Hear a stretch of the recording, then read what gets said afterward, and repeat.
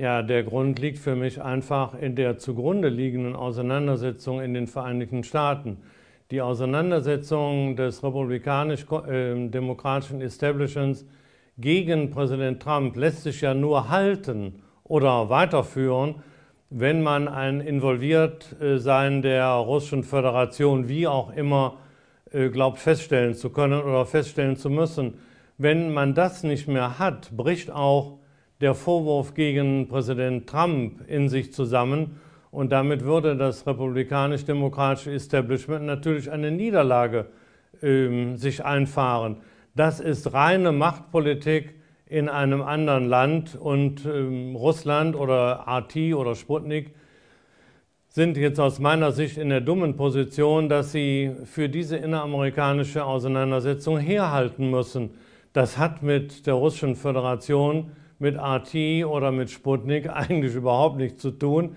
Das könnte genauso gut eine Einrichtung auf dem Mond sein. Das macht aber deutlich, wie heftig und wie äh, brutal die Auseinandersetzung in den Vereinigten Staaten geführt wird. Und man kann natürlich dann auch noch sein Mütchen an der Russischen Föderation kühlen. Das ist die ganz klare Absicht, die es aus meiner Sicht der Dinge gibt.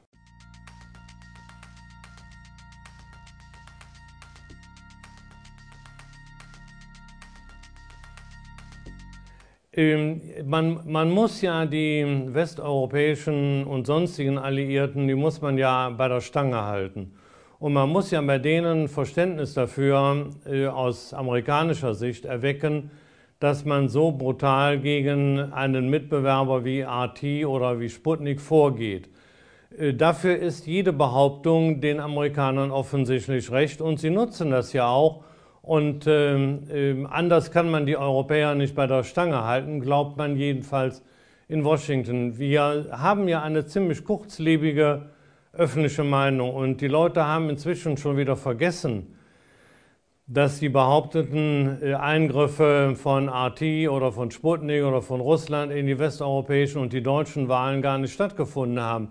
Das heißt, die Lüge ist das Herrschaftsprinzip in Washington und das wird ebenso weit betrieben, soweit es Wirkung hat.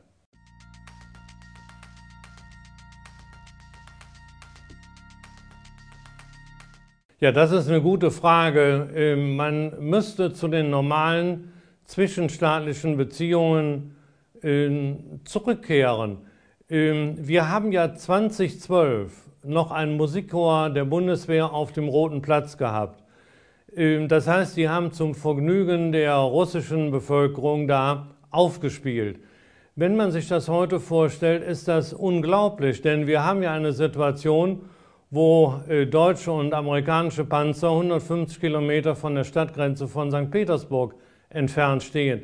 Das heißt, wir müssen wieder zu einer Situation zurückkommen, wo ein Musikchor der Bundeswehr auf dem Roten Platz spielen kann oder ein Musikchor der Roten Armee auf dem Pariser Platz in Berlin. Das ist das, was die Europäer wünschen und die Amerikaner wissen das genau und deswegen versuchen sie, äh, einen Stolperstein nach dem anderen in unsere bilateralen Beziehungen zu schleudern und das natürlich auch mit Hilfe derjenigen in den baltischen Staaten oder anderswo, die am liebsten morgen oder übermorgen zum Konflikt mit Russland aufrufen würden, aus äh, Gründen, die niemand von uns akzeptiert.